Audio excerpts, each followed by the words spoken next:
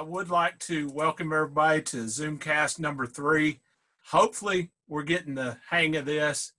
Uh, as always, I would like to introduce my co host, uh, Steve Wade. Now, I always say that he's my former boss, uh, but make no mistake about it, Steve is always going to be uh, in charge of everything that we do. So, Steve, what's up, my friend? Well, in charge of everything we do? Okay, I'll take that. Don't you forget it either. no, actually, actually, I got to tell everybody when it comes to this, when it comes to everything with the Scene Vault and the Zoomcast and the podcast and the attempt to archive everything that Scene has done over the years, it's all you, man, and you are the man in charge. When this goes on, all I am is your spirit carrier, and I'm happy to be that. Well, if I if I'm in charge, that explains a lot. yeah, explains how. never mind. and also, uh, as you've been uh, hearing, listening in on some of our conversations, uh, this week we do have Rick Mast on the call with us. Rick was the winner of nine Busch Series races. Count them, nine Busch Series races one, two, three, four, five, six, seven, eight, nine Busch Series races before he moved on to the Winston Cup circuit, where he won the pole for the 1992 Hooters 500 at Atlanta Motor Speedway, NASCAR's greatest race, as well as for the 1994 Brickyard 400, the first NASCAR race ever held at Indianapolis Motor Speedway. But in all seriousness, more than that, he is absolutely just an all around good guy. He has always been one of the good guys. I've always appreciated his friendship. So, uh, Rick, is, is there anything that I've left out?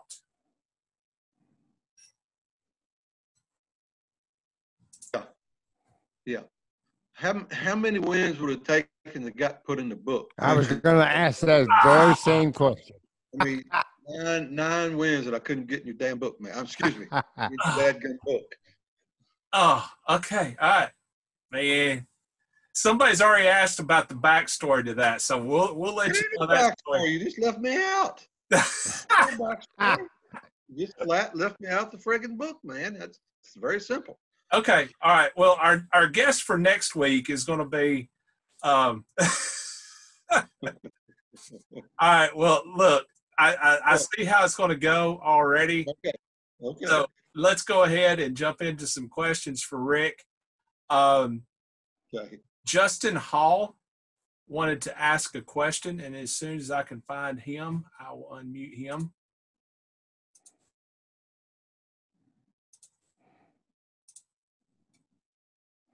Justin, fire away. All right. Hello, Mr. Mast. Thanks for coming on tonight. What's happening, my man? So I wanted to ask you, it was before my time. Uh, can you tell us about the differences in the Busch series going from the V6 to the V8? What yeah, those like? days, what, what it, it, yeah, it was big time difference. I remember the first time I got in a cup car was 1988. Buddy Baker got hurt, and he was driving the Red Baron Pizza. He had his own team, and he got a head injury, and he I subbed for him for two races. First time I ever got in a cup car. So we go to Bristol, my first time in a cup car. And I, I go out on the track and I run around a couple laps getting warmed up. Then I remember coming off turn four and hitting it wide open. It threw me back in the seat. You know, I go into turn one. I turn the steering wheel. It doesn't do anything. It like it goes up the racetrack. It finally gets itself turned in the apex, and I get in the gas, and it wants to jump sideways. Then I turn the wheel to correct it. Then I have to feather the gas, because it wants to break the rear wheels loose with all the torque and finally get it straightened out and come off the corn, come off the turn. And I, I run, I ran maybe six or seven laps like that. And uh, I came in the pit, I came, I came on pit road and Joey Knuckles was my crew chief, our buddy's crew chief. And he put the window net down. He, and he always called me Bub. He said, or I don't know. But anyhow, he said, what do you think, Bub? What do you think, driver? I said, Joey, I said, I don't, it's the first time I've ever been in a cup car. I said, I don't really know. I said, but this is the ill-handled piece of crap I've ever said in my life. He said, really? I said, yeah. He said, what's it do? I said, well, you go in the turn and turn, turn the wheel and it doesn't do anything. It just slides and moves. And I said, once you get it turned and stopped and loaded, and through the apex to get it turned and getting the gas, it won't hook the rear up. You got you, you got to be real careful with the gas and further the gas, and you got to work the steering wheel and do all this. He said, "What would you do to fix it?" I said, "Man, I don't have a clue. It's so far out in left field. I don't have a clue what you do to fix it." He says, "Huh." He said, "What would you say if I told you you were fourth fastest out of everybody that's running so far? I mean, out of the whole field." I said, "Fourth fastest." He said, "Yeah." I said, okay, I just got to adapt to this, right? I got to adapt to this race car because it reminded me of when I was running dirt. Uh, we ran big block. Well, we called them big block modifies, but they were they were stock cars, but had big block engines, and those those engines had a lot of torque, and that's what that car reminded me of. So, with the V6 engines uh, in the Busch series and the weight of the car, completely different animal. It was completely different animal. The way you you just had when you got when you got out of the Busch car into a Cup car. I mean, you were in a different world. Totally, the cars.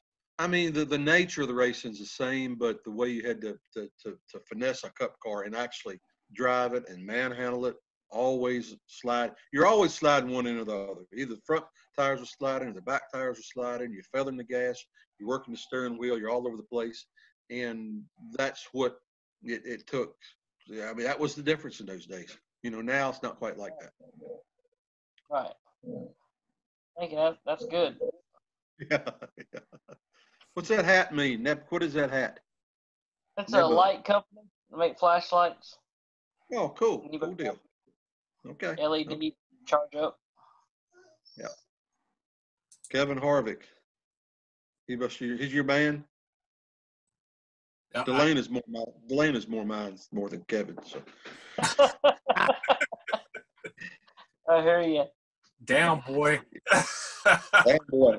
Down boy. Down boy. All right. She wears a fire suit. Yeah, yeah. So what Logano said. That's right. That's right. That's right. All right. All right. That was all for me. Thanks. Oh, thank you, sir. Glad glad you checked in, man. Sir. Our next question is for is from Brian Hallman. God help us all. How you doing, Mr. Mast? You raced against. Hey Brian, um, what's up, my man? You raced against DeLana's dad, didn't you, John Linville? I did, John Paul. Yep, and and her uncle Yeah. Dickie. Yeah, Okay. sure did. They were good guys. That wasn't, I have, that wasn't the question. John that wasn't my question. I didn't want to waste it on that. Uh, you you ran almost 50 Busch Series races, which from 1982 up, Busch Series, it was late model before that. You ran almost 50 races before you went to your first super speedway. Was that by design or was that just because of needing a speedway car? No, I, I, I need a speedway car. I did not have a speedway car.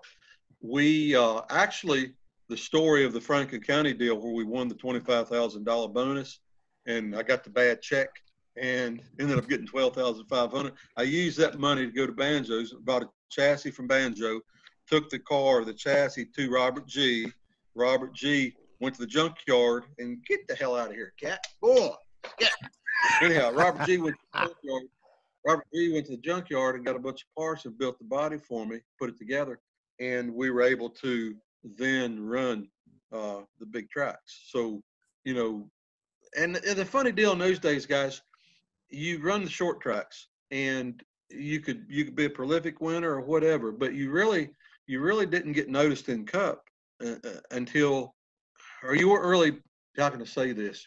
You had to prove yourself at Charlotte, Darlington, Dover, uh, Daytona, those places. Because what happened with me, we run all the short tracks, and a lot of guys running short tracks. We had prolific winners in our deal, very good race car drivers. But when you when you went to a super speedway, that's when you learned as a driver. Number one, I can do this or not. Okay, because not all the short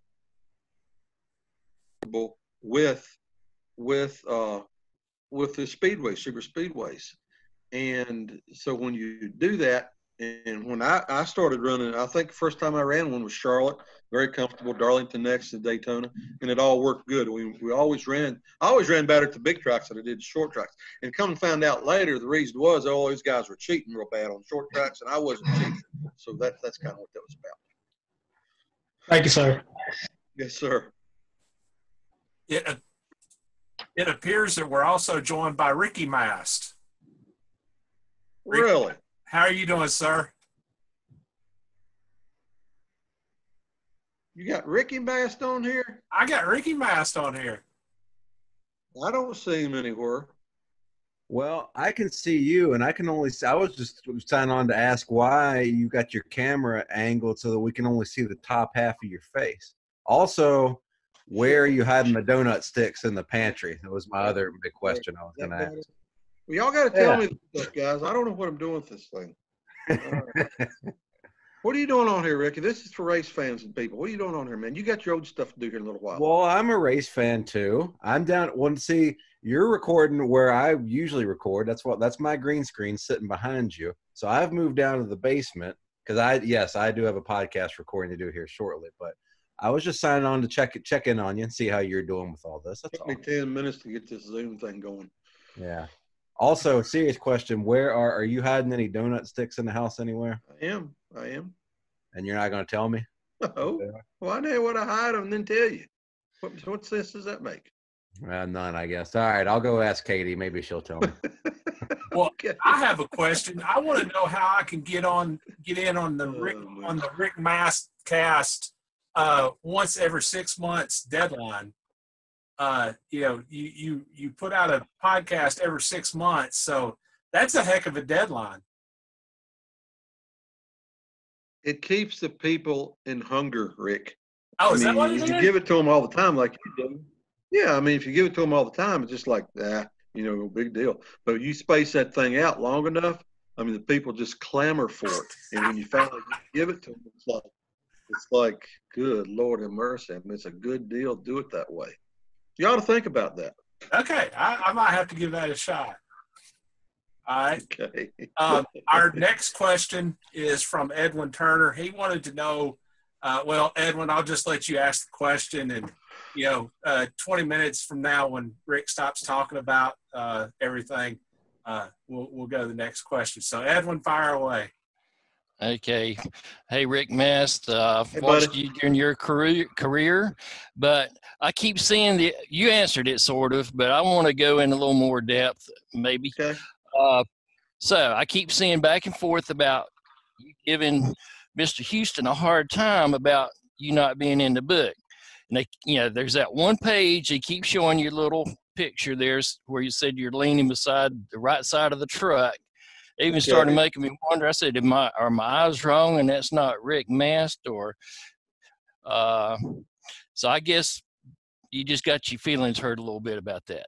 Well, you know, I was I'm used to that. You know, I was used to that. A lot, of, a lot of, a lot of, some of the, most of the older writers in those days, they respected all of us. You know, but some of the times you'd have these younger young bucks come along wanting to be prima donnas, and they would just they would go, they would go Uh. for the story, and, you know, the the obvious answers. I mean, the obvious people. You know, they would go for. And by the way, that Ricky was my son. He's here, by the way, Rick Houston. He's Ricky's here at the house with us right now because of the virus.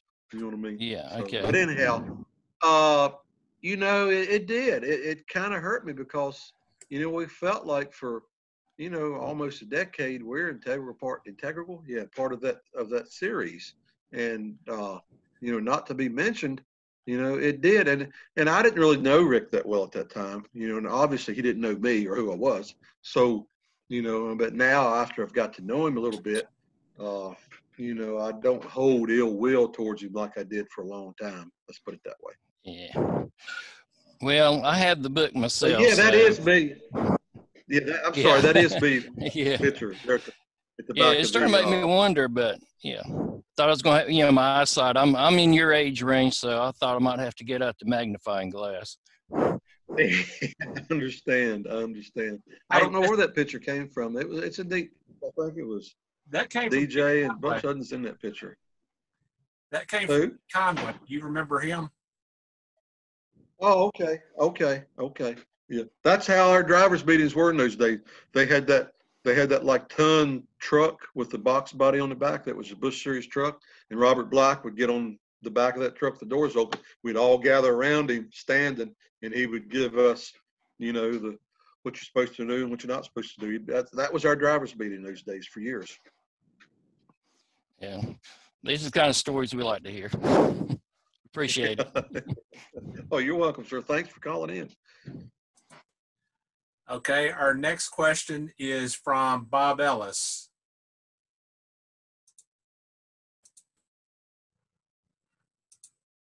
Rick, you gotta get faster at this stuff. Hey, man, look, need to it's- I'm, I'm a one man it's- band here. I am a one man band. Where's Wade at? What's he doing? Oh Lord, I just I just taught I just taught him how to get on Zoom, man. Much less deal with the bells and whistles. I, I taught him. We taught each other. So, uh, You know they used stone, the stone and the hammer and chisels when he started writing. Heard Ben Hur. Hello. I- yeah, yeah. like Ben Hur. Say hi. Say hi, pup. Say hi. Say hi, puppy. at there. Steve Wade, my man, my hero. Steve Wade's everybody's hero, by the way. If y'all didn't know Steve Wade, he was everybody's hero back in the day. well, thank you, Rick. I do have a question for you, if you can hear me. Oh yeah, I got you, babe. All right. I'm going to jump ahead a little bit because I'm going to let all these guys ask their questions after this one. This is obviously toward the end of your career. I'm not going to ask you about the damn cow, okay? I do, I do want to know uh, uh, uh, about the carbon monoxide. When did you Okay. first start feeling that, and when did it become so debilitating that you basically had to walk away from racing? What time period was that, and how did that feel during that time? Seven o'clock, seven a.m. Friday morning, March twenty-fourth, Bristol, Tennessee. That, that answers I that. up- I woke up in the motorhome, getting ready to go start the weekend at Bristol practice on Friday morning. I felt bad. When I woke up, I just felt bad. You know, just just felt queasy. And I'm like, well, you know, got a little bug or a little bit of food poison or something. So Friday, you did the whole deal practice. Saturday, we qualified, did did practice qualify. Sunday, same deal. Wake up Sunday, feel about the same. Run the race Sunday. The race is over Sunday and feel bad. Monday, I feel bad. Tuesday, I feel bad. Wednesday, I feel bad. Thursday, we go to the week. Next race, I feel bad. And every day, Steve, it would get just a smidgen worse from March 24th Yeah. till we get to Charlotte in May for the All Star race. I ran the 40 lap invitational race, the preliminary to the All Star. Uh, I ran that Yeah. race 40 laps. When the race was over, it was all I could do to get from my car to, or from my race car to the motorhome in in the infield. And you know, I immediately got to the motorhome, jumped in the plane, flew home, called the team owner, called my sponsor, said, "Listen, I don't know what's going on. They've been testing me for probably five or six weeks at this point. The doctors had already been working with me. And uh, I said, I don't know what's going on. I kept it a secret. I don't know what's going on, but I cannot race next week. I said, no way I can run a world 600 or 600 miles. Al, I couldn't even run 40 laps, you know? So that led to uh, tons of doctor visits, which I'd already been doing. Uh, finally, uh, got in the Mayo Clinic in Jacksonville, went down there, three or four days of testing. They said, we suspect the link to carbon monoxide poisoning. I'm like, okay, what's that mean? Well, we don't know. Found the foremost expert on this stuff in uh, Dearborn, Michigan, Warren, Michigan, Dr. David Finney. Went up there, dealt with him. He sent me to a clinic in Colorado Springs. I was out there for five days for all this intensive testing, and they figured the whole thing out. And uh, it was a relief because it answered so many questions, so many things I was going through, different things I was having, and uh, they pinpointed it all. You know, they pinpointed every bit of it. No, we're talking, we're talking. This is what three months or so after Charlotte before all this happened. Because when I came back from Charlotte that night, I laid upstairs in my bed for 31 days. If I could get from my bed to my couch, or keep a bowl of soup down a day, that was a real good day for me. Okay, so Wow, 31 wow. days of that crap. Finally, f- started getting better enough to where I could at least get up and function during the day. And then uh, during all this processes, processes, the doctors, my local doctors, were still running all the tests and doing all the stuff. Couldn't come up, come up with anything. But over a period of time, got well enough to be able to go to Jacksonville and go to Michigan and then go to Colorado Springs. So that's that's kind of how that deal went. Wow. That was that must have been a horrible experience. But uh, That's gosh, a I'm, I'm condensed just version. Well, yeah, Steve. just the- glad the you got over it it. is- huh?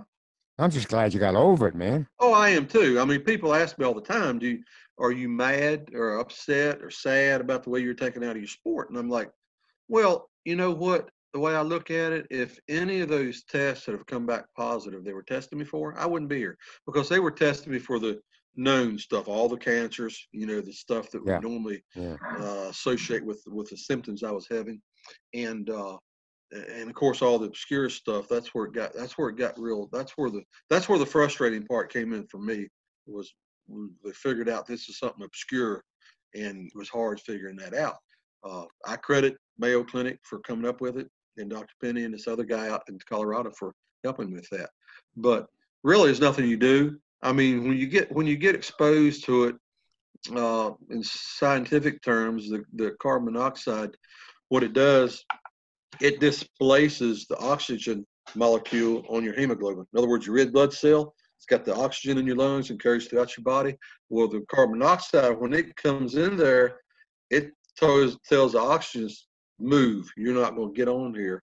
It displaces it. It hooks to the red blood cell and it pumps through your body. Right. That's how carbon monoxide. Hmm. That's why it's so dangerous to people. So when you've got it in you, you know Yeah. you can go in a hyperbaric chamber or whatever and pressurize it out and all that.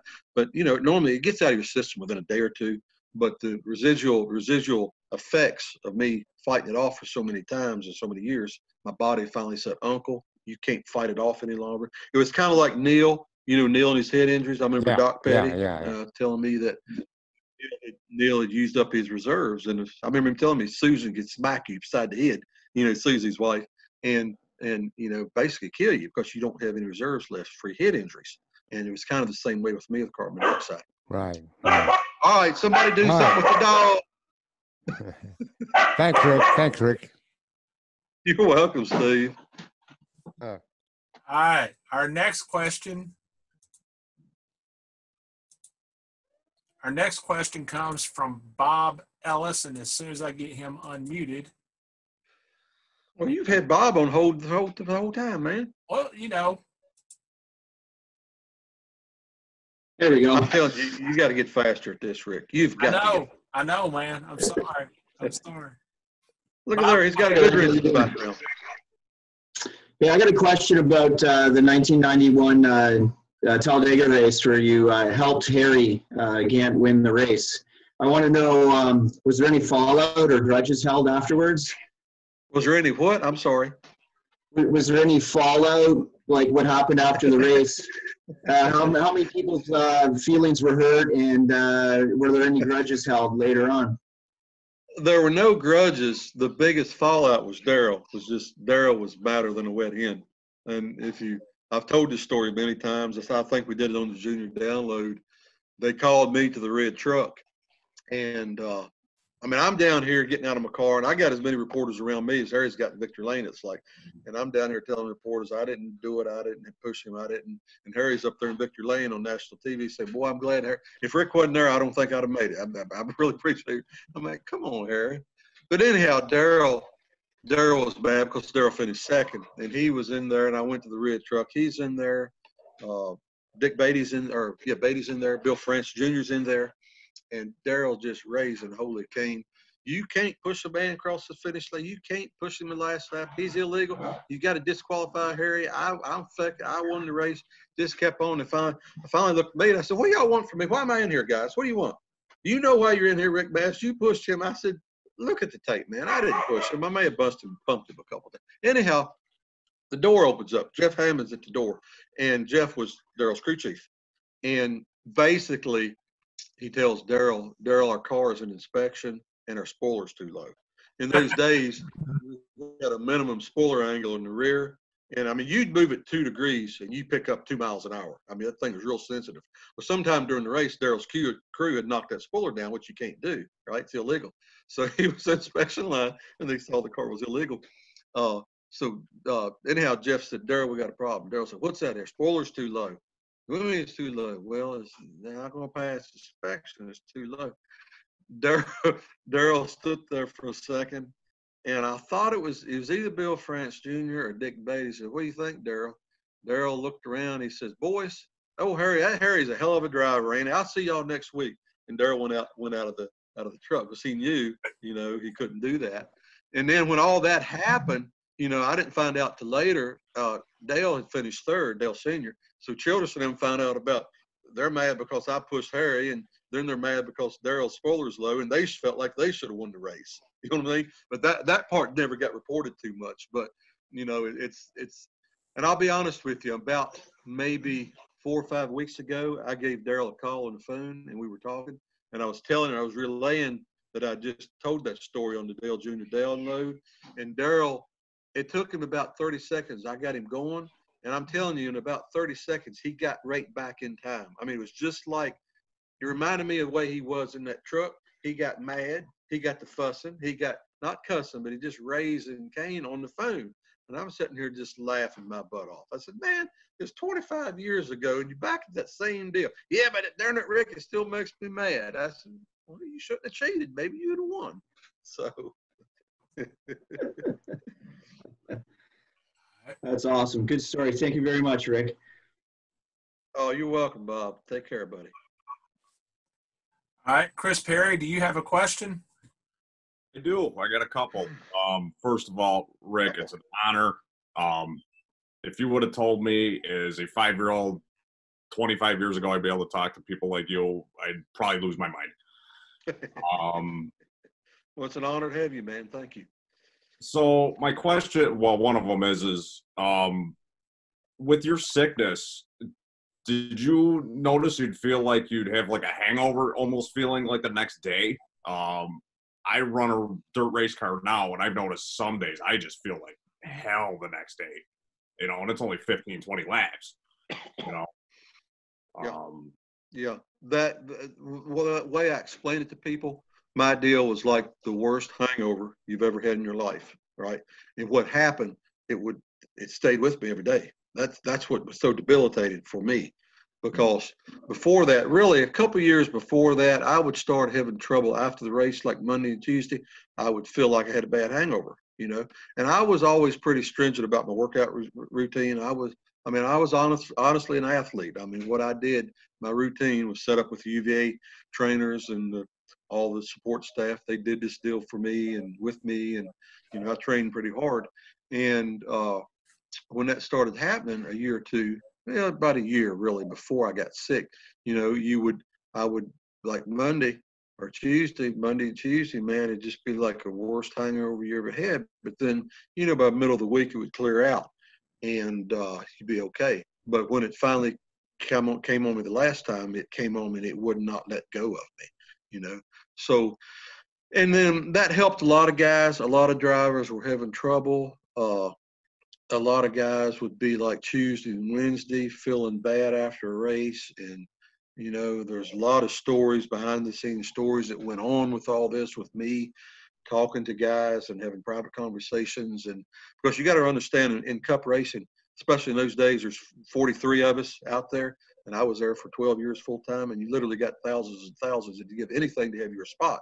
So you never show signs of weakness. You've always got arrows being thrown at you, and you have to dodge everything and protect your territory like a dog, you know.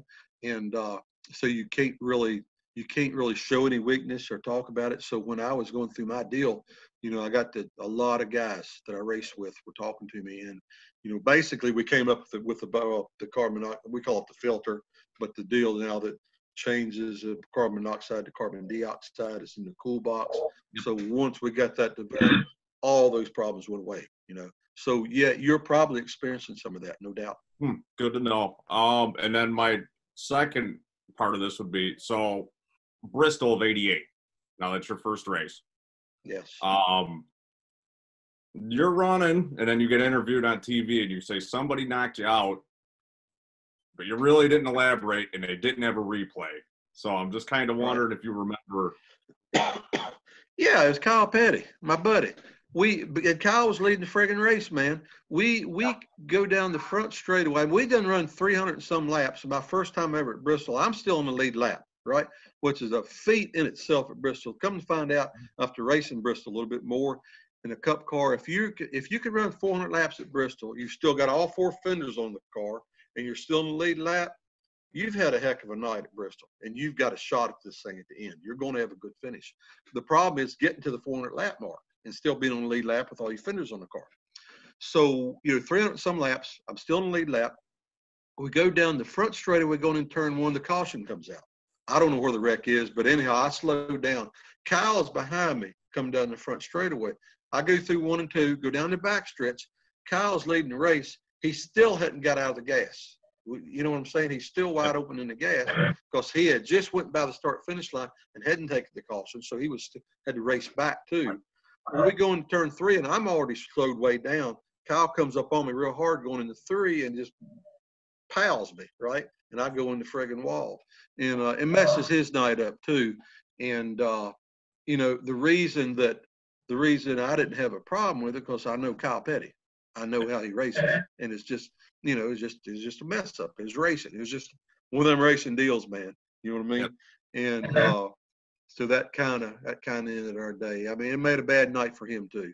You know, and of course he was all apologetic and on and on and on. And he didn't have to be, but I, I understood the situation. And then my last small question for you: um, bias plays or radials in the Winston Cup days? What was your Bias preference? ply. Bias ply. I did. I, I I always loved bias ply just because you could, as a driver, man, you had so much more control over what you did. The bias ply, a, a bias ply tire, if you if you got 30 pounds of air pressure in it, that tire measured a certain circumference. Right. It's a certain size. If you put 33 or four pounds of pressure, it gets bigger.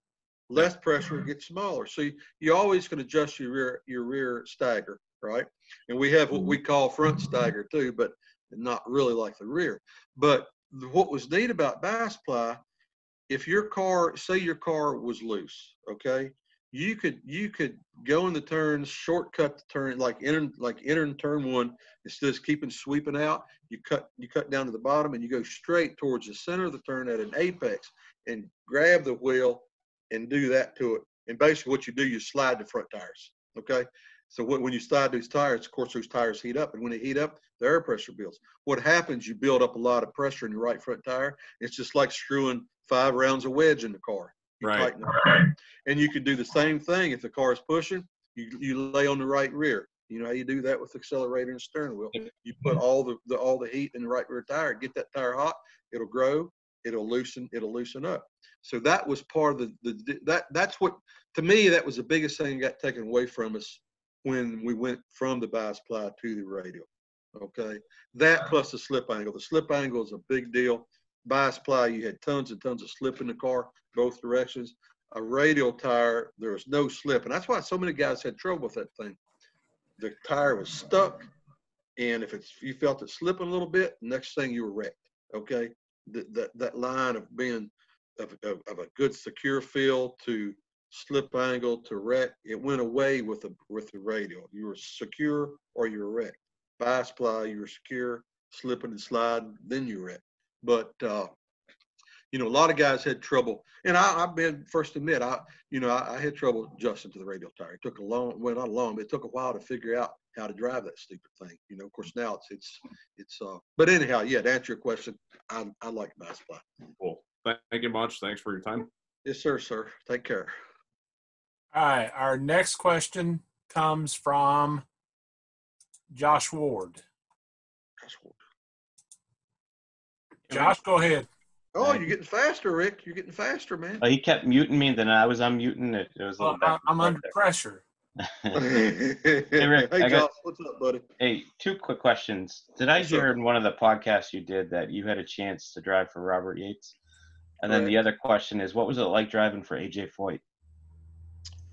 Uh, yeah, I did with with Robert, and you know, you look back, and I always tell people I've got no regret, regrets, and I, I don't because looking back career wise, you know, uh, probably a mistake, but at the time, you know, I had to do what I felt was right for.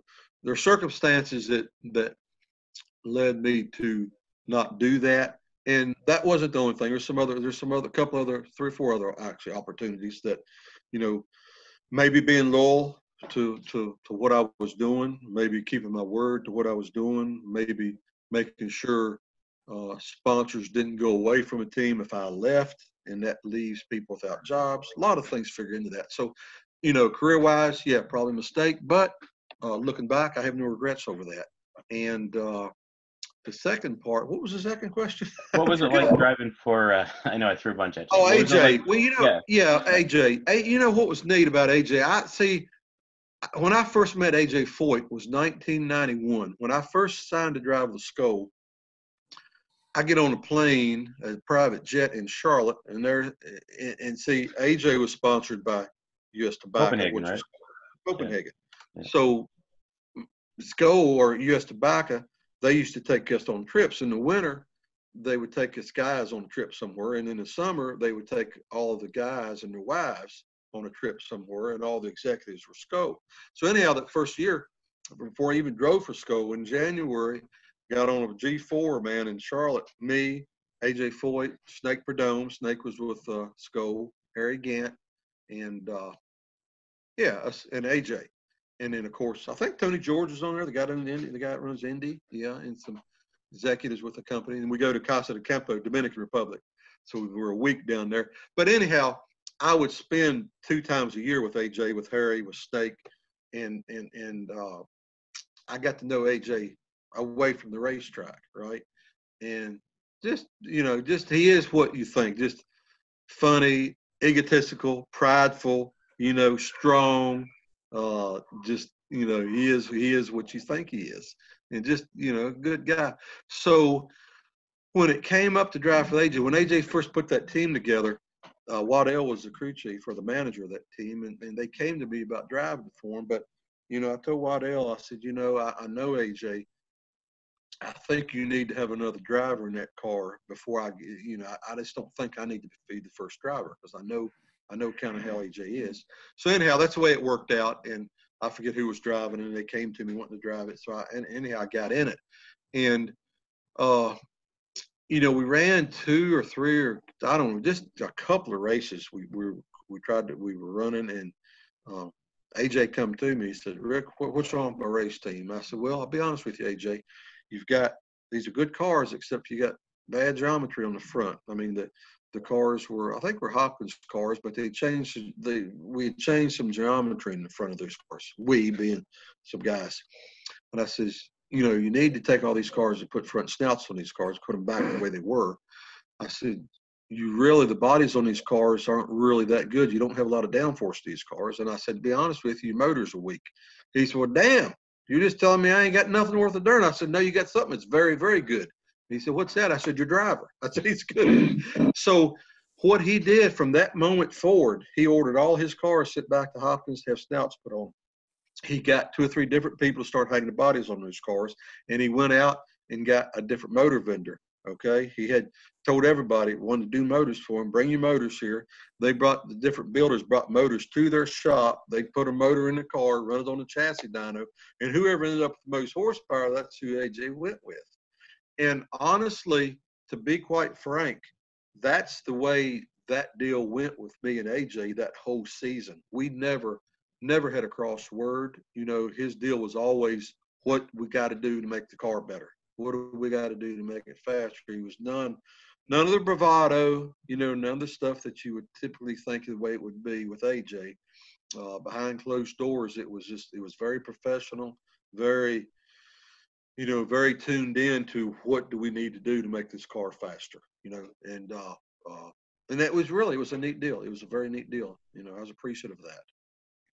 Thanks, Rick. Appreciate it. You're welcome. Thank you, sir. All right. Our next question comes from Hallie Emery. Hallie, go ahead. Thank you, Rick.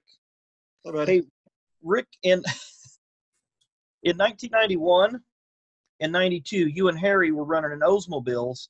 In 1993, you guys switched to Ford and Harry switched to Chevy. What caused that? Uh, the Jackson brothers both decide to run different manufacturers. Well, Leo was more in tune with General Motors. At that point, Leo, which uh, for everybody, er, Leo owned uh, Harry's car, and Richard, his brother, owned my team. And Leo had a, a, a, a they were both good. We were both good with Oldsmobile. So when Oldsmobile got ran out, uh, Chevrolet uh, basically offered up to Leo a lot more than he offered up to Richard. Okay, and Junior at that point, Junior Johnson was he was buddies with Leo and Richard, and, and Junior was an advocate for Ford.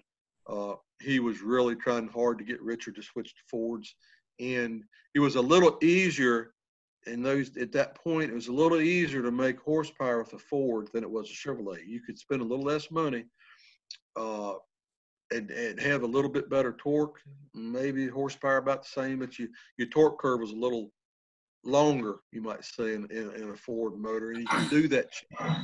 And uh, Ford stepped up to the plate and basically offered Richard more than what Chevrolet was, and that you know that's really what it boiled down to. Is just you know kind of a dollars and cents thing for Richard. All right, thank you very much. Oh, you're welcome, sir. Uh, our next question comes from Hall- uh, comes from Jeff Markowski. Jeff, fire away. Thank you. Thanks for hosting us once again, guys.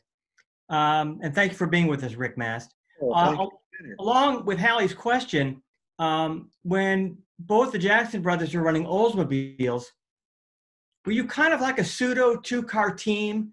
And if so, what kind of things did you share, if all, like chassis or engines? Nothing. Nothing They- at all. No, the, the basically the only thing was shared was the love between Richard and Leo. They had a love for each other, but they also had a very competitive side. And you know, in a perfect world, Skoal would have loved for the two teams to be sharing, but it, you know, it just it wasn't set up that way. I mean, Leo's shop was in uh, Asheville, okay, North Carolina, near Banjos, the western part of the state. Our shop with Richard was right there in Denver. I mean, Denver, North Carolina, which is basically Charlotte. So you know, completely separate deals that way. Uh, you know, for whatever reason, I, you know, I, I I don't know. Uh, I'll give you a little secret, or not a secret, but I'll never forget. We were at the deal I was just talking about, one of those deals with when all the drivers would be together in '91, I guess it was, with AJ. And I remember sitting, we were all sitting around, Harry, Richard, Leo, me, AJ Snake, sitting around the house one night, and AJ was talking about the radial tire and he was talking about an IndyCar, the radial tire. He said the biggest thing you got to worry about with the radial tire is don't get on the edge. Don't get on the edge of the tire. You got to stay off the edge.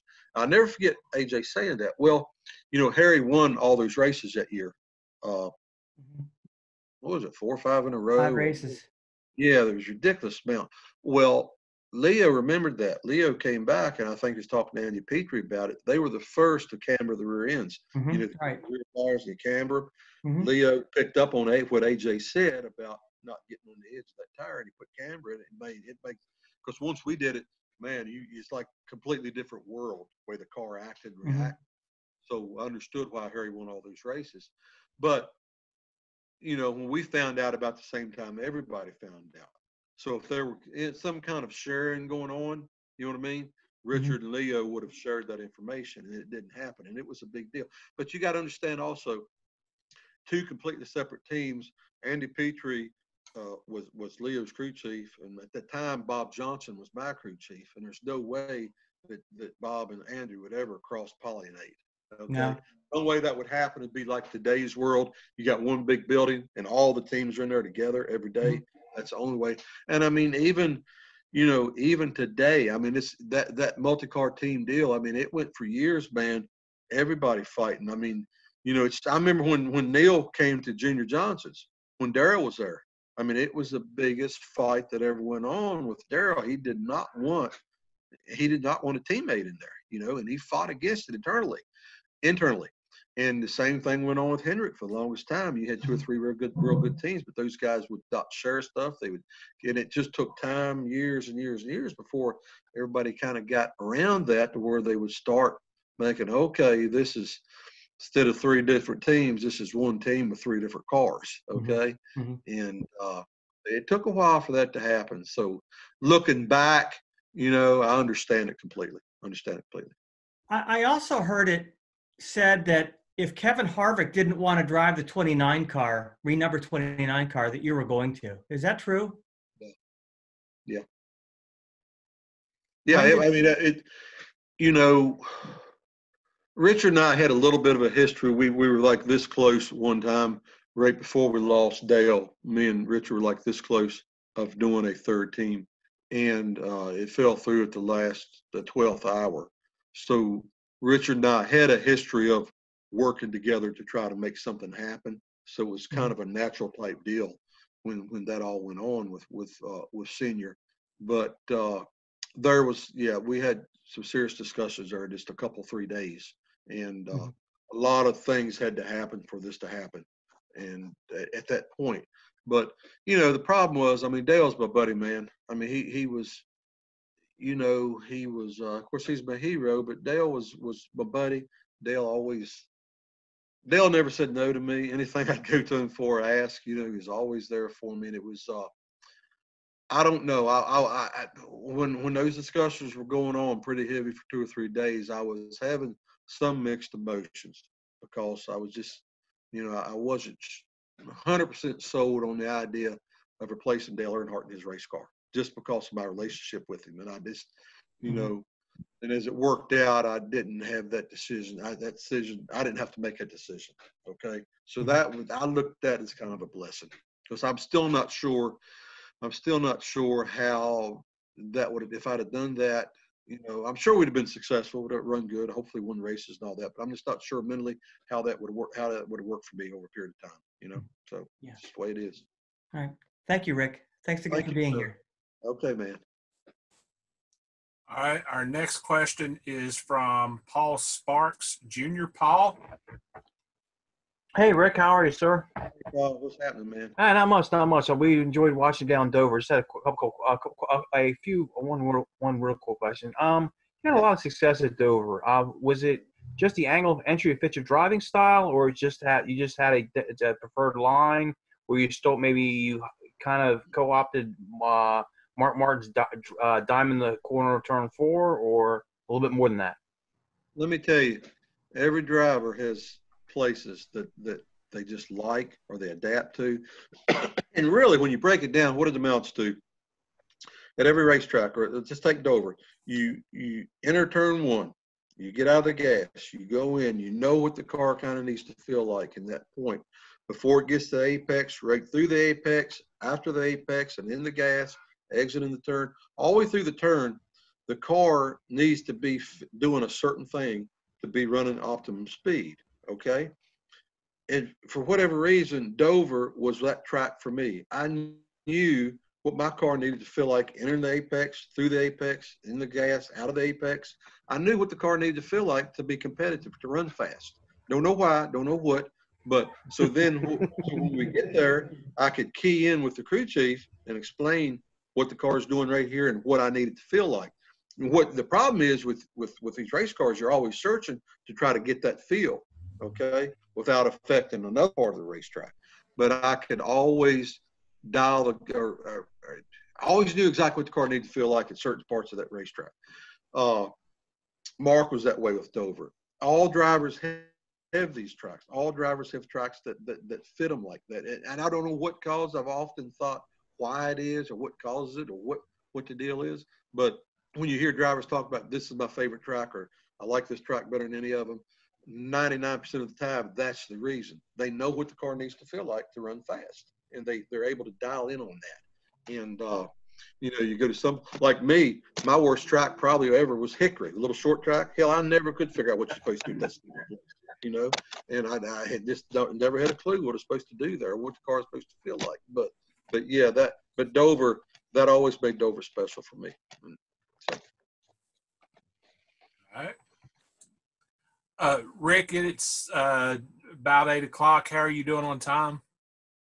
Well, I don't miss Wheel of Fortune. I don't miss Jeopardy. I mean, my venison's done got cold. I might as well stay with you a little bit now. Okay, all right. Uh, Matt Miles has a question. Matt, are you with us? Good evening, Mr. Mass. How are you, sir? Hey, Oop, what's hold happening, here. man? Okay. Hey, I appreciate you coming on. Appreciate you talking to you on Twitter a couple times. Okay. And um, being being a Pennsylvanian, my friend. Um, well, I have no love lost with uh, Mr. Spencer, and I, I heard your story that you uh, mentioned on the Junior podcast about a shotgun and and uh, Mr. Spencer. And um, Well, it wasn't really a shotgun. Just wonder if you could like kind of talk through that a little bit, and, and if you've sort of mended defenses there with Mr. Spencer over time. Oh yeah, I mean, excuse me. Yeah, I mean we. I mean after that all happened, you know, we, Jimmy and I, we the rest of our career. I mean, we raced. As far as I know, we never rubbed fenders, and mm-hmm. you know, we become good friends. I've become friends with his wife Pat. I've become friends with his mom and dad, his brothers, even his sisters. You know, it was like whenever whoever had any troubles or whatever going on, those guys were there, kind of, you know, helping me. Right. Mm-hmm. Mom was always cooking at the racetrack, and she would, if ever I was there, she would always send for me. Somebody say, "Rick, come down and Miss Spencer got food for you." And I have to go down there and eat with them, and yeah, it, it turned into a, it turned turned into a good good relationship. But I tell you, good, I'll tell you, uh, I'll tell you a real quick story. And I did this on Twitter the other night. Uh, 1975. I'm still a teenager. We've got that big block modified. We see an ad in Tri-State Speed Paper, whatever it was called, Tri-State. Big race in Port Royal, Pennsylvania, paying. I forget what it was. It seemed to be like five grand or something. I don't know what it was. But anyhow, we decided to go up there. And I'd never been out, hardly out of Rockbridge County, much less the state of Virginia. So we thought we're going to go to Port Royal. So we go up 81 and we get off whatever exit it is. We go down through Carlisle. No, not Carlisle. Mhm. There's a there's a school, a college to the left off of 81 going towards Port Royal. I forget whatever it was. Anyhow, I remember we see as a girl walking a raccoon on a leash down the street. I think Ship, Shippensburg, I believe, is where that. Okay, yeah. what college is Shippensburg. Yep. I forget. Uh, well, it's a it's one of the state ones up here, Shippensburg University. Okay, that's where it was then. So And there's a girl walking a Freddie raccoon down the street, right? So we're going on up, we're getting close to Port Royal, so we decide we're gonna fill the truck up with fuel or gas. So we stopped at a gas station and they had gas attendants in those days. The guy comes out and waits on us. He's got a holster on with a gun, carrying a gun, right? I'm like, I don't know about this. Anyhow, we paid, go up the road, and before we get to the racetrack, it's past lunchtime. We get there early, and there's a diner, like one of those Airstream diner type things, right? Mhm. Stop to get lunch. Well, the woman we go in there and sit down to eat. Well, the woman, our waitress, waiting on us. Well, hell, she's got a holster on with a gun on her side, and I'm like, man, where are we at? Everybody's got guns. Even the waitress has got guns. So anyhow, you know, it was all cool. We went to the racetrack and, you know, we're practicing and uh, there was, I don't know how many cars, but it was like 10 o'clock that night when I qualified. I mean, it was Mhm. a godly amount of cars at this race. And I remember taking the checker. flag. I took the green qualifying. and When I took the checker, my mo- I blew a motor taking the checker flag during the during the qualifying lap. So uh, anyhow, we loaded stuff, we loaded stuff up and come on back home. And uh, come to find out later, it's like 4:30 or 5 in the morning that race had finished. Right. Well, years later, years later, my mom always kept a scrapbook. Anything that was ever written about Rick Master, whatever, she'd always do a scrapbook, and she'd give it to me each Christmas. Well, one time, years later, sometime in the 90s, I guess, I don't know. I was going through old scrapbooks and I happened to come across she'd cut out the article to that race. Guess who won that race? I bet that was Mr. Ed Spencer, probably Jimmy's dad. Ed Spencer won the race. Guess who finished Yep. 18th? Guess who finished 18th? Uh, I guess Jimmy was driving then, so he probably probably would have been Jimmy in 18th. Yeah. Jimmy Spencer. It sure was. And I, I never knew it for, you know, 15 or 20 years. I did not know that till I read that article.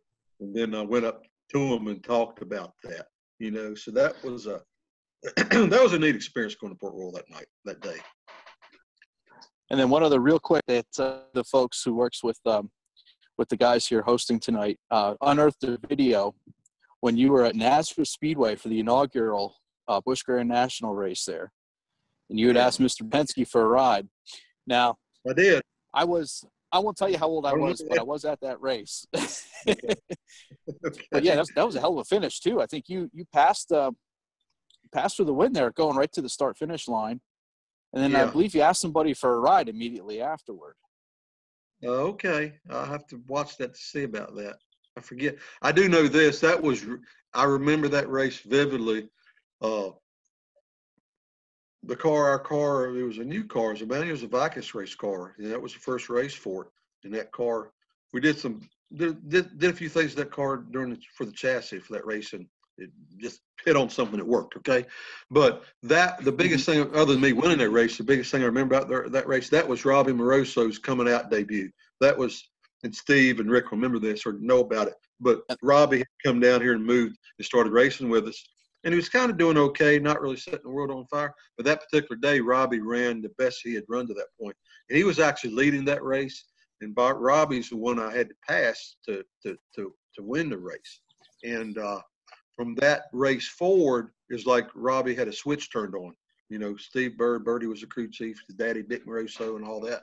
But that race is the one that really got got Robbie for whatever deal, or something with either Robbie or what they were doing to the cars. But after that, Robbie then became he became awesome after that. So that was uh man, I hated to see that racetrack going away. I just hated it because it was a neat friggin' racetrack.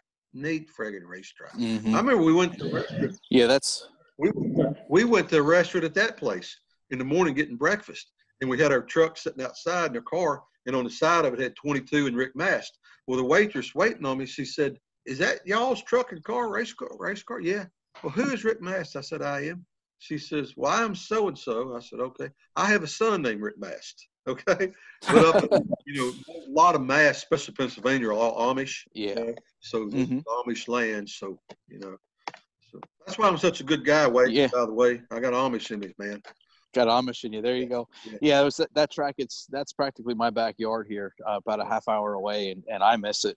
I drive past it going to work every day. So, but yeah, it's uh, Yeah. it's terrible. It was it was an old dirt track that they paved, and Right, right. That was. I I appreciate your time, sir. Thank you. they paved it. I believe that was the first race after they paved it. Yep. It was yes, sir. Hey, we went back the second year. I had to race one the second year in a friggin' master cylinder, the master cylinder, the brake master cylinder. We had dual master cylinders. The friggin' seal, the, the plunger seal, the plunger went down and stuck and held the brake pedal, held the brakes to either front or rear wheels and screwed up my day. But I'm telling you, we had their butt covered that day and didn't bring home the victory. Appreciate the time, sir. So- Yeah, appreciate the time, sir. Thank you. Thank you, bud.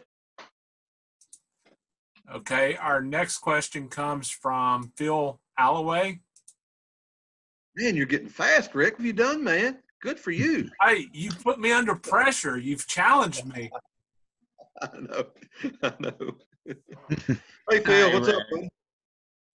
Pleasure having you here tonight. Um, I got a couple of questions. Uh, first, um, when you were full time in Busch Grand National, you did two races at Louisville Motor Speedway, which was at that time a .354 mile flat oval. I there are very few clips of that, and it looked like it was extremely narrow and very tough to race on. You didn't have much luck there, but uh, what kind of memories do you have of that place? I'll tell you what. I'll tell you what. I'll tell you exactly what I remember about that place. It's 140,000 degrees that day. is what it was. Hot, great God, it was hot. Sounds that about right track. It was so hot. We were practicing on Saturday. Okay, during the day, we had to stop. They came. The track was coming apart. They took their water trucks. They brought water trucks in there, and they watered that track down, asphalt down, to try to get it cool enough for us to go out and do a little practice. They would cool that track down with water trucks. We'd go out. You didn't have to worry about driving the track. The water would turn to steam, man. It seemed like you go out and run maybe 20 minutes or so. They'd have to stop practice again because the friggin' asphalt was so hot it was coming up. And uh, that's that remembrance, and that was the night. I don't know why we talk about Spencer so much, but that was the night that whatever happened to Spencer, I don't know what happened to Jimmy, but he got out of his car and he stood on on the on the front straightaway on the inside of the racetrack, looking up at the scoring tower where Robert Black, our competition manager, behind the flag stand, looking up at the NASCAR officials, giving them the finger. right right in front of right in front of the, the the the stands and everybody. I never forget riding around under caution, watching. Is that it? Yeah, that's it, baby. That's it. Hey, you know what that? I mean, You know what that's from? Second to none. The history of the NASCAR Busch Series. I'm sure it is. I'm sure it is. I'm sure it is.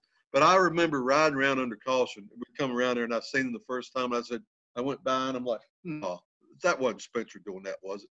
I come back around the next time. I said, yeah, that's my boy Jimmy giving Robert Black and NASCAR the finger in front of all, all the thousands of fans. that was the funniest thing. But yeah, it was a it was a tough, tough little tough little racetrack. Yes, sir. You're right. What else do you All have? All right. Um, um, when you were really getting going in the in Busch Grand National, they uh, introduced a bot the A bodies like the Celebrity and uh, Pontiac 6000 and so on and so forth to the series. Um, it comes off as somewhat strange to me, but um, they had to get more modern bodies in the series since people were running stuff from the 70s prior to that. But um, did that really change much in the series at that time? the what it ended up being, Phil, was a test, okay? Because the cars just would not work. I built one. I had a celebrity, a lot of uh, because we were Chevrolet then, and we did a celebrity. But what they did, they made the wheelbase shorter. We were like maybe 112 inch wheelbase. Well, if you lose, use that body style, and NASCAR was wanting us to use it, they decided we could use a 105 inch wheelbase, which is seven inches shorter. Well, and a shorter wheelbase race car goes faster, okay? And or in, in theory it does, but for whatever reasons, geometry wise, because basically what a lot of guys did, they used the same chassis. You just shortened the trailing arms, the rear hookup suspension, seven inches to make the Mhm. wheelbase short and make the cage smaller and all that. So you got a cage that's smaller, less metal. That means you could put more lid in the car, which in theory should make the car faster too. But there was something inherently wrong with the way we did those cars that they just never, they just could never handle as good as what we'd been using. And all of us used them. All of us tried them. All of us ran them. And they were especially treacherous on super speedways.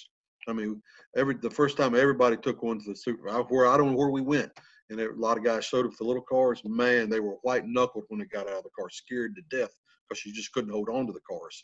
And uh, then on the short tracks, they just didn't they just didn't handle as well. So you know they were kind of short lived. Uh, I remember Earnhardt had one, and he ran. I think we were Darlington, one of the big tracks, and he ran decent with it. But I remember after the race, he was just cussing, raising hell. He said, "Don't bring that thing back ever back. back don't, don't." He, I remember telling telling what's his name, "Don't even take it to my shop. Don't even take it back to the shop. I don't want to see this car again."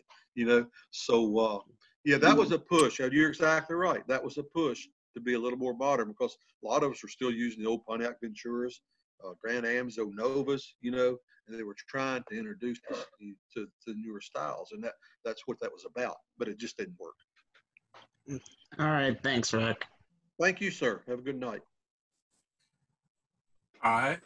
Um, our next question is from Gary Bryan. But Gary, before uh, you ask your question, if everybody would maybe limit themselves to, to one question, uh, we, we've got a little bit of a backup, and I, I'm sure we're not going to be able to get to everybody.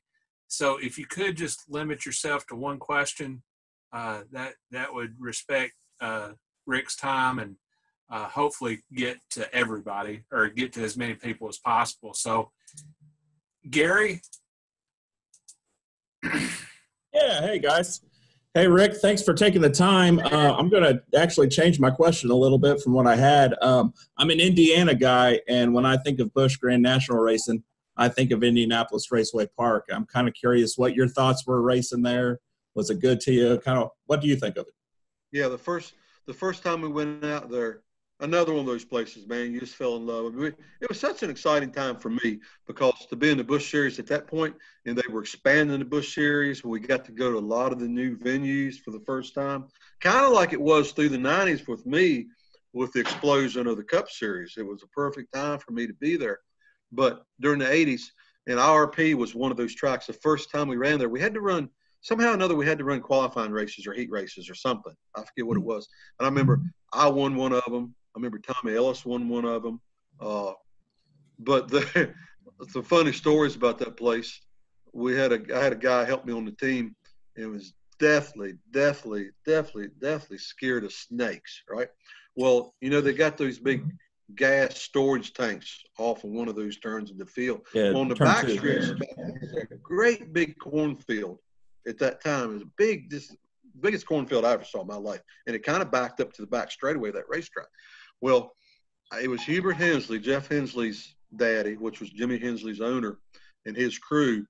They had set this thing up. They knew that Paul, the guy helped me, scared snake. Well, they set this thing up for a day and a half. Had all the guys up and down pit road always talking about snakes coming out of that cornfield whenever my guy Paul would walk by. I mean, they set this thing up perfectly. Every time you turn around, if Paul was going by somebody, they were talking about snakes. I don't.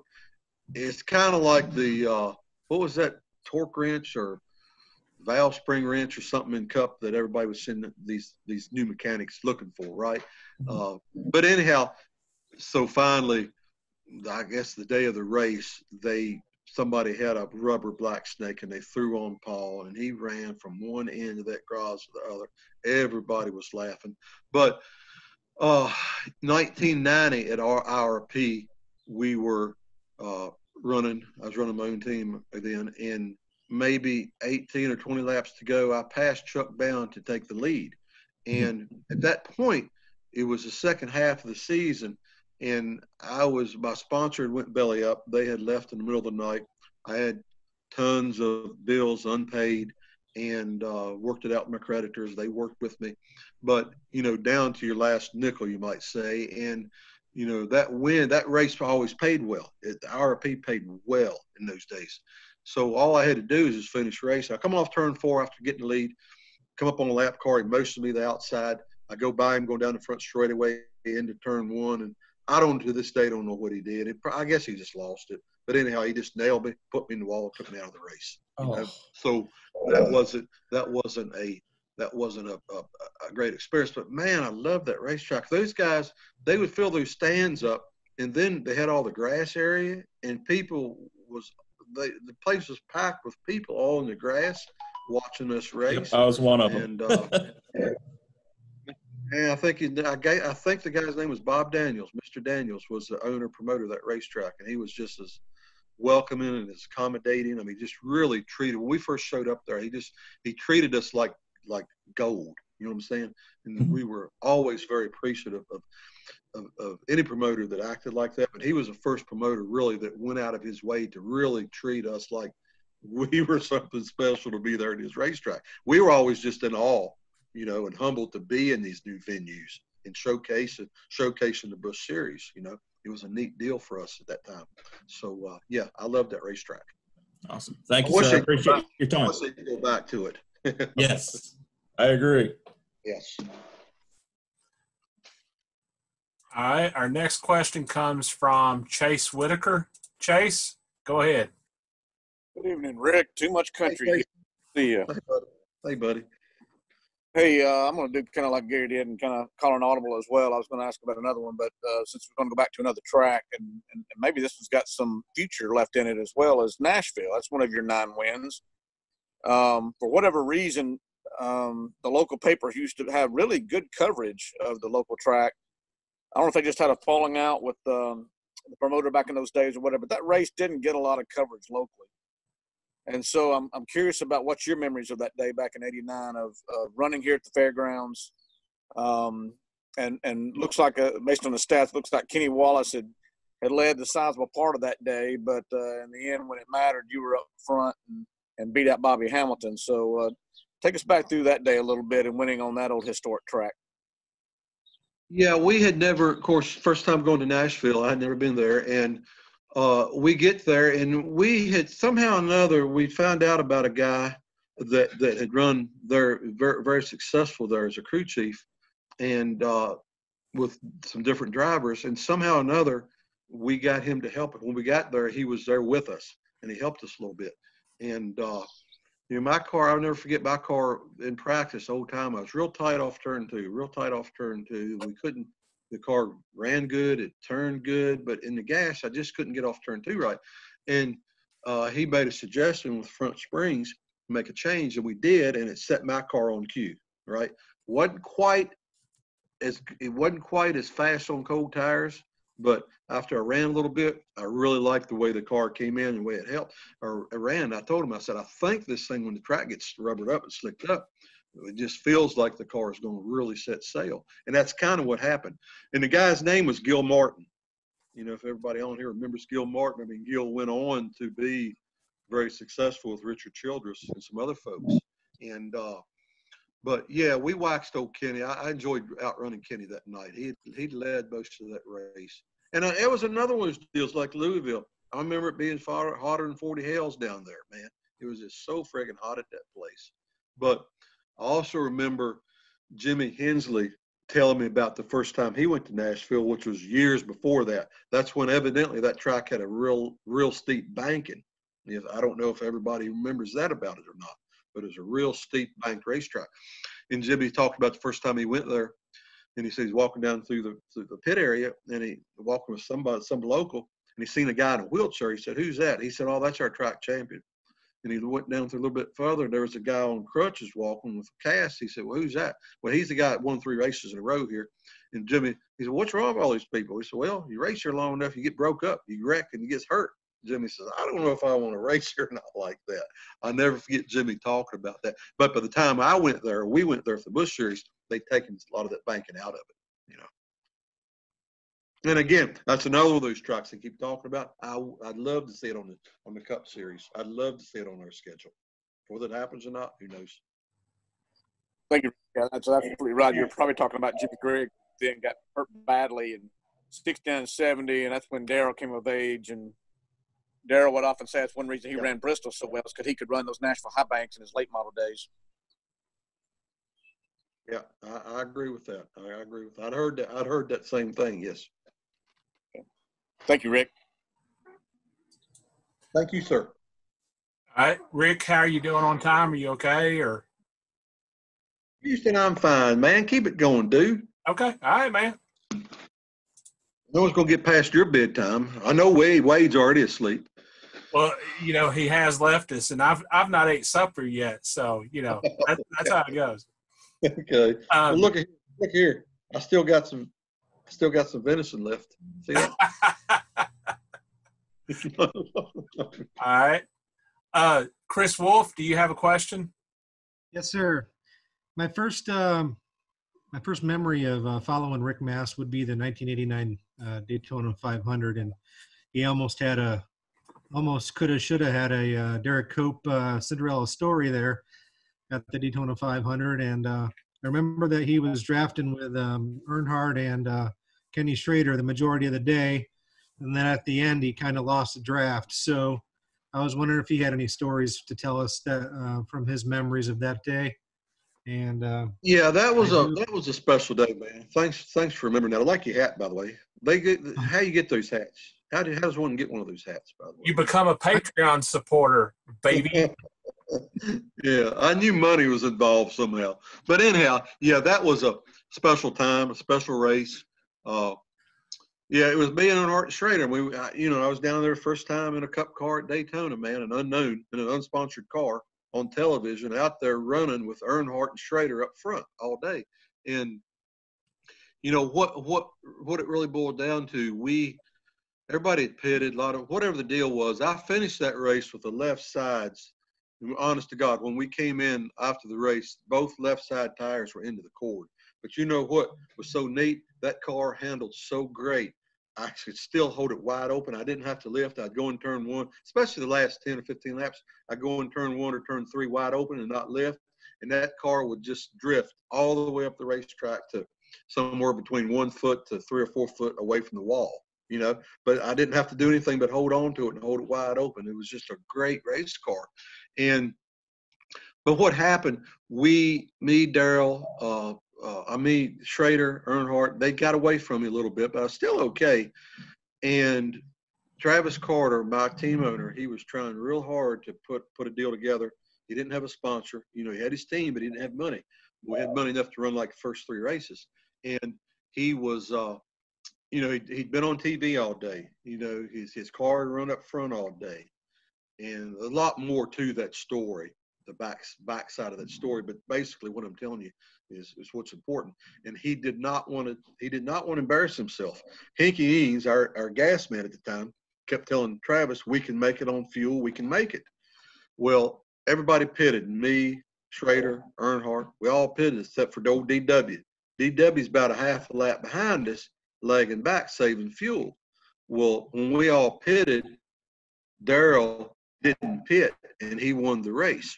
Well, Hinky was so upset about it when the race was over, he made him take the top off the fuel cell. I remember being there watching. Hinky was mad. They took the actual top off our fuel cell in the garage before he loaded, and he went in there and he measured the amount of fuel and he figured it out that we had we had enough fuel to make it to the end. And if Travis would have listened to Hinky, we'd have won the friggin' Daytona 500, and Darrell still wouldn't have won one, you know. But you know how things are meant to be sometimes they're not meant to be. So that was uh, uh, that was one of the most memorable, enjoyable times I ever had at a racetrack.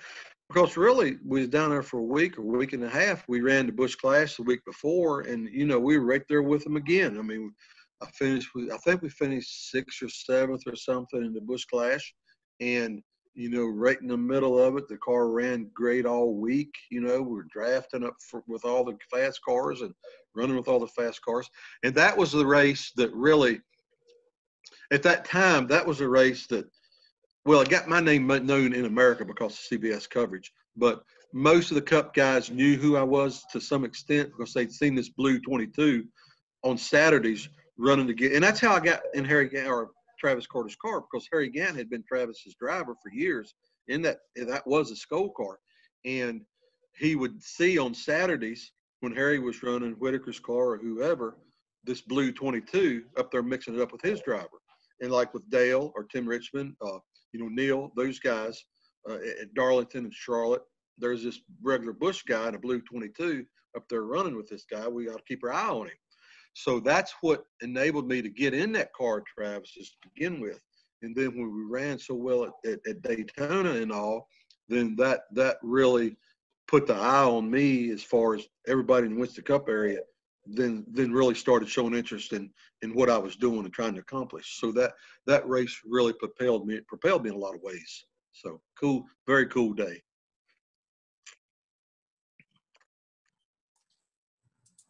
Okay, I think we have reached the end of the line. I think we have one more question, uh, and it will come from Michael Massey. Michael. Hey, Rick. How you doing? Mike. Um, I was going to ask, can you hear me all right? Yes, sir. Yes, sir. Right. I was going to ask you about uh, Alan Dillard was your father-in-law, right? Correct. Um, I got he moved to he ended up moving up to Cup with Ward Burton. Correct. Do you think that he should have just stayed in the Busch series and he would have had, you know, more success, you know, like he did with you and with Ward if he'd stayed in the Busch series? Yeah, yeah. I mean, yeah, cause it was it was easier to do financially, but you know, his goal was always to, to, to get into cup. That's what he wanted to do. And, you know, uh, I guess 88 and 89, me and him did a team together. Uh, so the 88 and 89 seasons in the Busch series, that was mine and Mr. Dillard's car together. And then at the end of 89, we split. I went back on my own with my car. And then he, he went on his way. He did started out with Elton, Elton Sawyer. Then he ended up with Ward and they had uh, I guess it was Gwaltney. Gwaltney was your sponsor. Then when he went to Cup, you know, he landed a deal with Hardee's, and you know th- those guys. I mean, they had, he had put together a, a, a, good race team. I mean, he had he had uh, golly, he had Felipe Lopez was there, uh, Freddie Fryar was there. Probably the greatest shock man that the sport has ever seen, Ronnie Crooks. Ronnie was there, right? These guys were younger then, okay? But very talented guys on that team. Ronnie went on to become the, the shock specialist at, at Joe Gibbs Racing through all the wins and championships with Bobby and, and Tony Stewart and those guys. And uh, you might not know that name, but in the garage area, I mean, he's like Elvis with shock absorbers, you know, Ronnie was. And, but, you know, the money, the, the financial part is, is, is what finally got Mr. Dillard. You know, I mean, you can't, you know, he, he had a successful company that he built and ran himself for 50 years.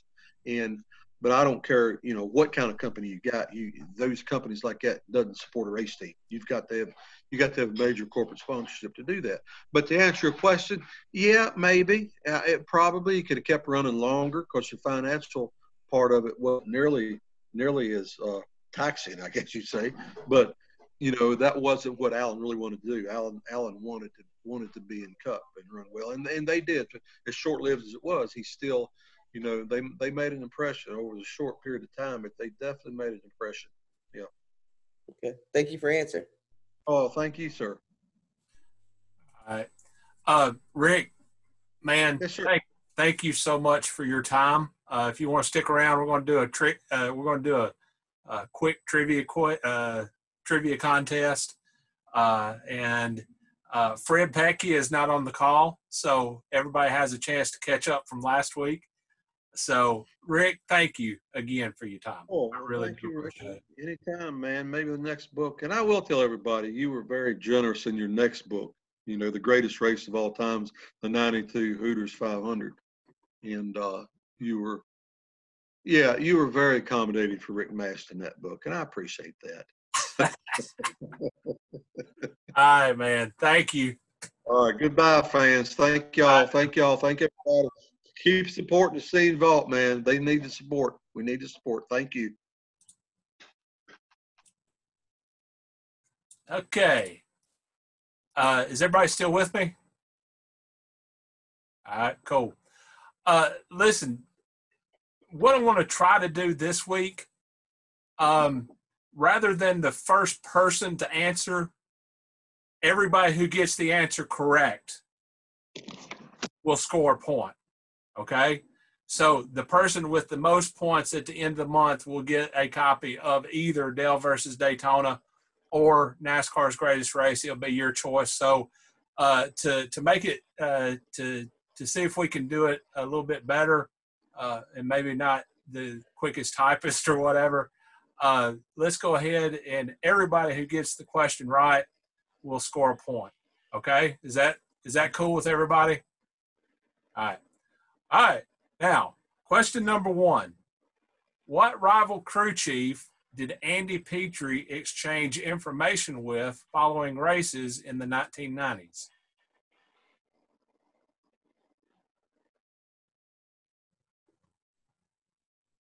Okay. All right. Looks like everybody has their, their answers in. Uh, it would be Ray Evernham. Uh, and I, I'm going to be honest with you, that was probably one of the most surprising things that I've learned here on the podcast doing the doing the interviews. When when he said that, I was I was shocked because you had the crew chief for Dale Earnhardt sharing information with the crew chief for Ray Evernham, and evidently from what um, from what Andy said, he he said that they shared basically everything uh, that was going on with those race cars. So that was that was pretty revealing, I thought. All right. Question number two: Who was DiGard's first driver?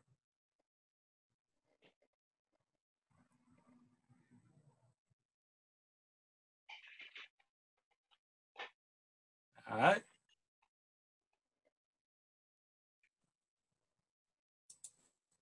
Very good.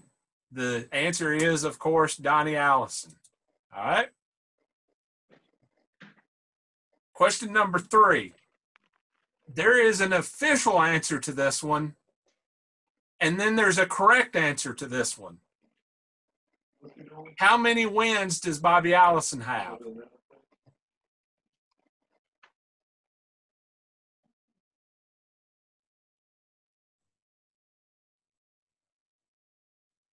All right. Okay.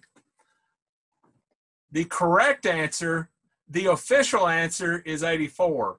The correct answer that I'm looking for is 85. All right. Number four. Who did David Pearson consider to be the greatest driver of all time?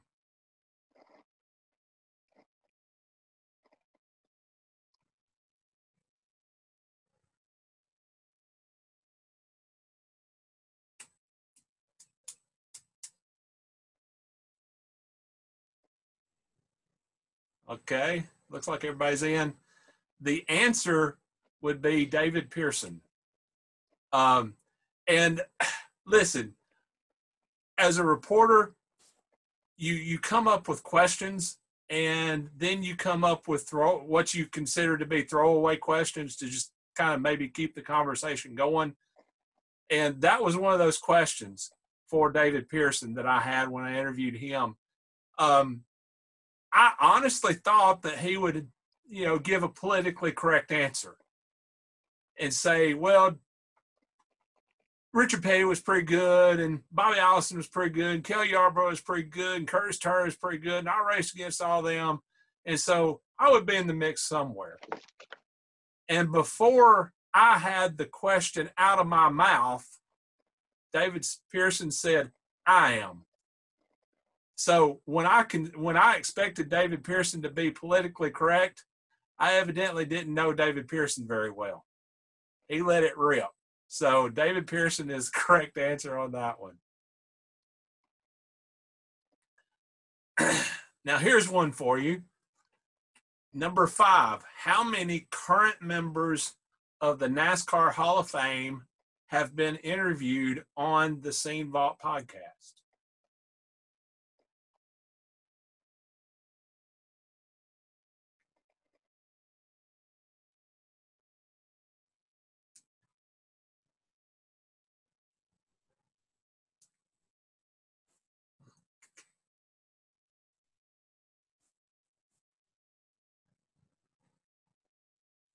Okay. Believe it or not, we have interviewed 13 members of the NASCAR Hall of Fame for the podcast. And that has been that that's been and honestly, that's not something that we set out to do. That's not something where Steve and I said, you know, we're going to go interview members of the NASCAR Hall of Fame we just happened to be able to get up with those people and yeah. We we've we have interviewed 13 members 13 current members of the nascar hall of fame. All right number six bobby hillin once wore a helmet featuring which major league baseball player? And there's actually two correct answers for that one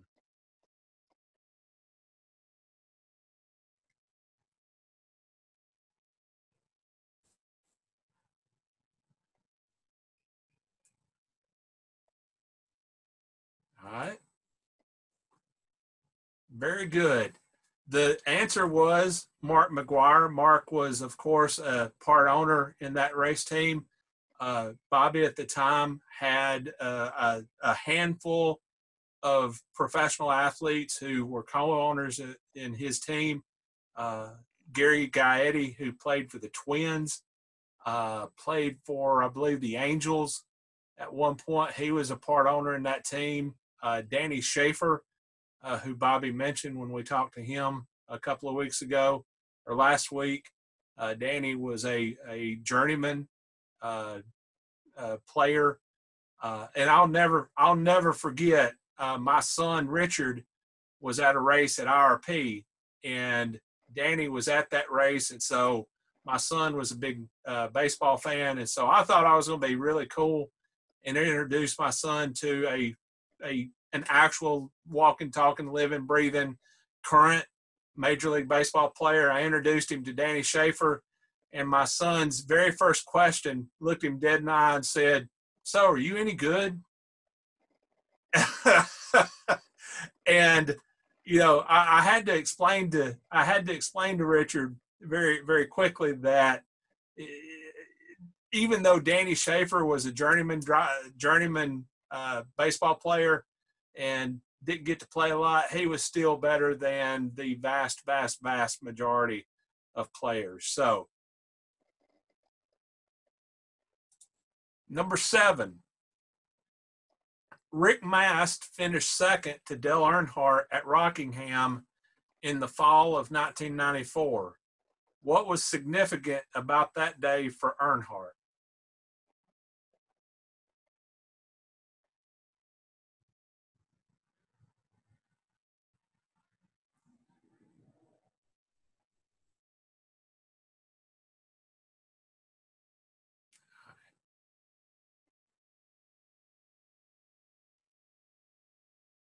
Very good. Uh, that was the day that he clinched his seventh Winston Cup championship, which of course tied him at the time with Richard Petty. Um, and there were still uh, two races to go in that season. So a lot of people tend to point to that season as a as a as a um, what's the word I'm looking for as a as a reason that the chase that the current format is in place. Um, think of that what you will.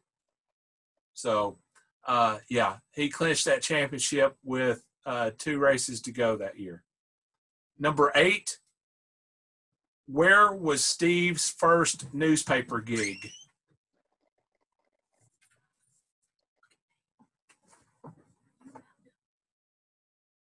your food in the fridge? Good. Okay, okay.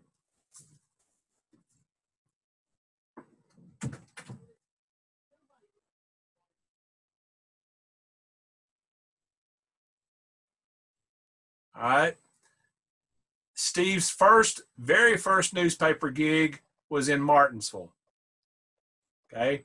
Then he went to Roanoke and then he went to Grand National Scene. And Edwin, my first job was in Sparta. All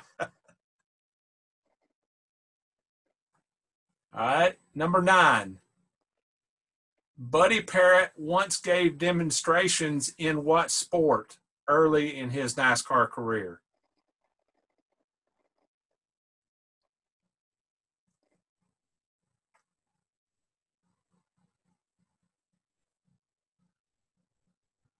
Very good. He gave demonstrations in diving. So you guys are very good. Uh, the the story goes according to according to Buddy, he was diving off the roof of the hotel where they were staying into the pool at the hotel. And he said that he had Buddy Baker scared to death that he was going to splat. All right. Number 10. Last question. The Scene Vault podcast has had four guest hosts. Name one of them. Extra credit for more than one.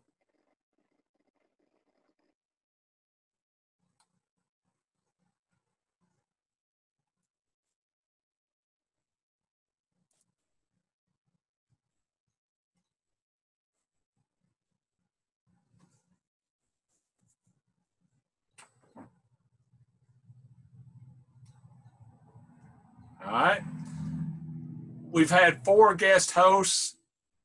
They were Kelly Crandall,